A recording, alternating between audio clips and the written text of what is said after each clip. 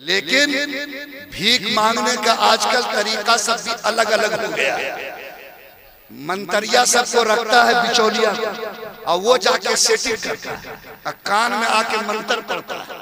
और ये बाप कहता है कि पूछ लीजिए समझी से, एक लफ्ज भी हम मांग चांग नहीं किया। हालाँकि मंतरिया ने पहले कान में कह दिया है कि अपाचे तय है। उसके साथ ये मिलेगी।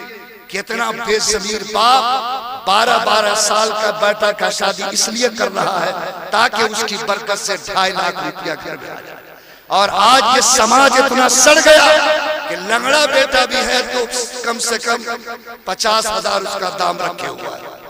अगर दोनों पाव सही सालिम है, तब तो वो अपाचे वाला खुदा ना खास्ता अगर न्यूटन का टीचर बन गया तो ये बाप समझता कि ये तो वाइट चेक है।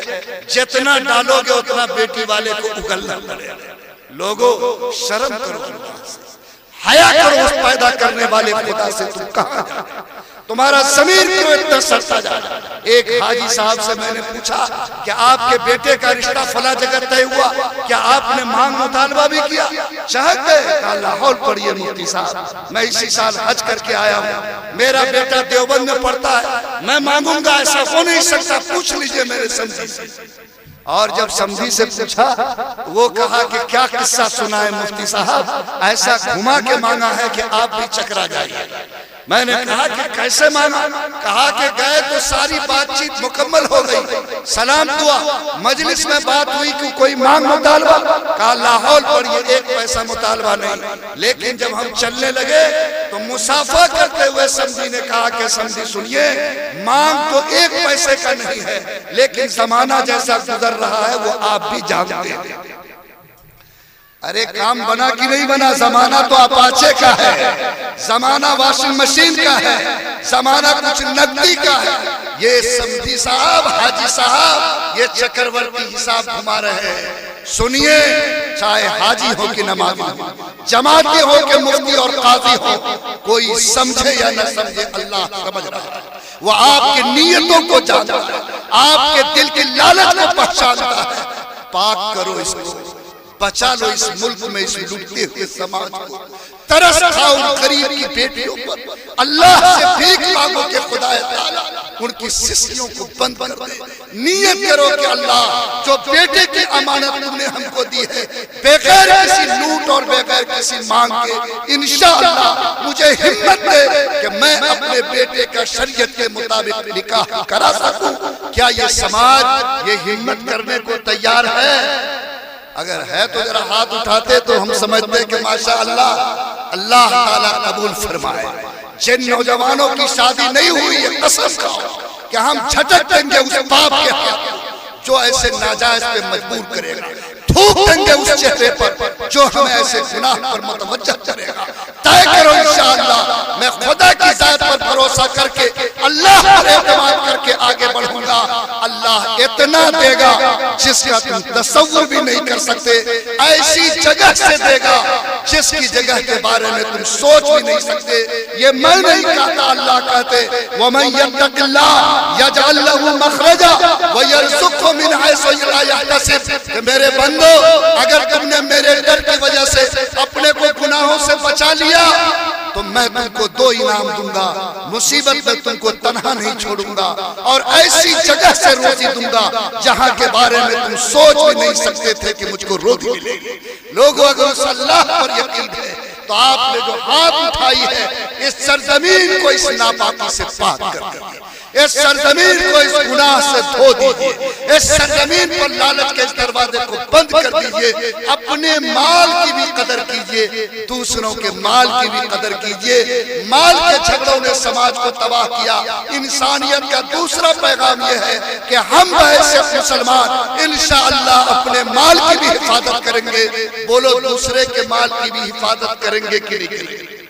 करेंगे मेरे नबी हिफाजत करने वाले थे। मेरे नबी को वो लोग जो नहीं मानते थे बोलो अमीन कहते थे कि नहीं कहते थे। अमानतदार जिस रात आपने हिजरत फरमाई लोग तलवार लेकर घर को घेरे हुए थे और वही तलवार वालों के माल आपके पास अमानत थे। आप कहते कि मैं इन दुश्मनों की अमानत क्या लूटा? ये तो मेरे चार के दुश्मन है लेकिन कुर्बान जाओ आका सल्लम। कहा कि ये तो उनका अमल है मेरा अमल नहीं हो सकता। आपने हज़रत अली को बुलाया। अमानत के सारे माल उसके हवाले किए। कहा कि मैं तो रात को निकलूँगा। तुम सुबह को उठ करके इन अमानत वालों की अमानत को वापस लोगों ये माल का एहतराम था जो आका सल्लल्लाहु अलैहि वसल्लम ने मुझको सिखाया कि दोस्त तो दोस्त दुश्मन के माल में भी खयानत करना मोमिन की शान नहीं है। इंशाअल्लाह हम इस बात का लिहाज रखेंगे कि हम दुनिया को इस बात का पैगाम दें कि हम अपने माल की भी हिफाजत करना जानते हैं और दूसरों के माल की हिफाजत का भी जज्बा रखते हैं। करेंगे इंशाअल्लाह? फरमाया कि तीसरा काम इज़्ज़त की हिफाजत का मसला है। बोलो, ये इज़्ज़त की हिफाजत ज़रूरी है या नहीं? आज इज़्ज़त के मामले कैसे हैं? ये प्लास्टिक का डब्बा मोबाइल हाथ में है और हमारे गाँव में समाज में बेशर्मी इतनी बढ़ गई कि नौजवान जवान बीवी को स्क्रीन टच मोबाइल और अब तो जो पैदा होता है मोबाइल ले ही के पैदा होता है। बाप कहता है कि मेरा बेटा मोबाइल हाथ में नहीं हो तो खाना नहीं खाता। बेशरम जब मोबाइल नहीं आया था तो दुनिया भूखे मरती थी। आपने तमाशे को बिगाड़ा। हमने खेल को दुनिया में बिगाड़ा। लोगों आज 90 परसेंट सेनाकारी इस मोबाइल के फितने की आज बाप घर से निकलता उसकी बेटी के साथ बदकारी आज शोहर घर से निकलता उसकी बीवी के साथ बदकारी लोगों बताओ इज़्ज़त की हिफाजत करना हमारे ईमान की पहचान है या नहीं? कुर्बान जाओ मैं अपने जवानों का हाथ पकड़ के कहता हूँ। मैं अपने जवानों से भीख माँगता हूँ कि तुम्हारी जवानी अल्लाह की अमानत है। तय करो इंशाअल्लाह कि जिस तरह हम अपने बहन की हिफाजत करना जानते हैं, इंशाअल्लाह समाज की बेटियों की हिफाजत का भी जज्बा पैदा करेंगे। चाहे वो किसी मज़हब की मानने वाली, चाहे वो किसी जात की मानने वाली, चाहे वो किसी टोले और टप्पर के रहने वाली हो, अगर अल्लाह ने ईमान की शान दिया तो बोलो, बेटियों की इज़्ज़त की हिफाजत, माँ बहनों के आबरू की हिफाजत हमारे दीन का हिस्सा है या नहीं? अल्लाह के रसूल ने ताइफ फतह किया। तो एक तीस साल का नौजवान नबी वसल्लम की खिदमत में आया। और कहने लगा ए अल्लाह के रसूल मैंने आपका कलमा पढ़ा है। मैं आपके साथ तमाम नेकी का काम करने को तैयार हूँ। लेकिन मुझको एक गुनाह की इजाज़त दे दी अल्लाह के नबी ने पूछा कि कौन सा गुना कहा कि मुझे बदकारी करने की आदत है। मैं इस आदत को छोड़ नहीं सकता। मैं आपसे गुजारिश करने आया हूँ कि आप मुझको इस गुनाह की इजाज़त दीजिए। बोलो, क्या आका इस गुनाह की इजाज़त दे सकते थे? वो गुनाह कि अगर शादीशुदा करे तो पत्थर मार कर उसको हलाक कर दिया जाए। गैर शादीशुदा करे तो उसके बदन पर इतने कोड़े लगे कि सर उठाकर चीरे के काबिल न रह सके। उस गुनाह की इजाज़त पैगंबर से मांगने गया। नबी ने फरमाया कि उदनो मिन्नी। मेरे करीब आओ। जब वो करीब आया आका ने अपना मुबारक हाथ उसके सीने पर रखा। कहा कि, बेटा, तुमसे हम एक सवाल करते हैं, उसका जवाब मांगते हैं। अगर उसका जवाब तुमने इत्मीनान वाला दिया और उसकी वजह से तुम्हारे दिल ने कबूल किया तो मुझे सुकून मिलेगा। अगर तुमको इत्मीनान नहीं मिला तो फिर हम आगे बात करेंगे। कहा कि, नबी, क्या आपका हुक्म है? कहा, बताओ, एक औरत अगर तुम्हारे सामने आए, जो सर से लेकर पैर तक पर्दे में हो, और तुम उसकी इज़्ज़त को लूटना चाहो लेकिन चेहरा खोले तो वो तुम्हारी माँ हो। तो बताओ तुम्हारे दिल की आवाज़ क्या होगी वो नौजवान तड़प गया।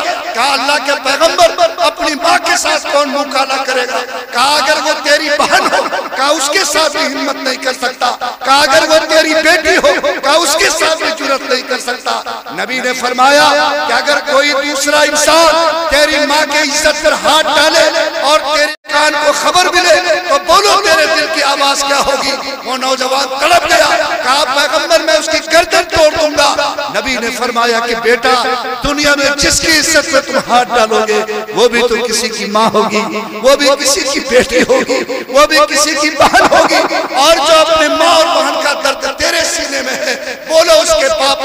के सीने में वही दर्द होगा कि नहीं होगा?